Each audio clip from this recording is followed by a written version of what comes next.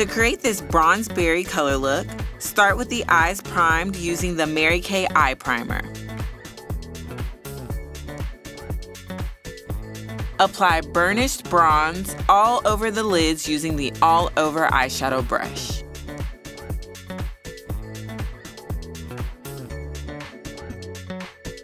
Using the eye crease brush, apply sweet plum to the outer corners of the eye in a V shape.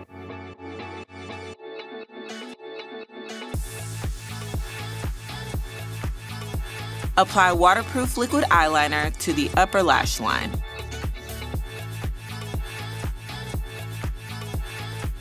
Coat lashes with a generous coat of Lash Intensity Mascara to the top and bottom lashes. Sweep golden copper upward into the hairline following the cheekbones using the all-over powder brush. Line and fill in lips with Mary Kay waterproof lip liner in red.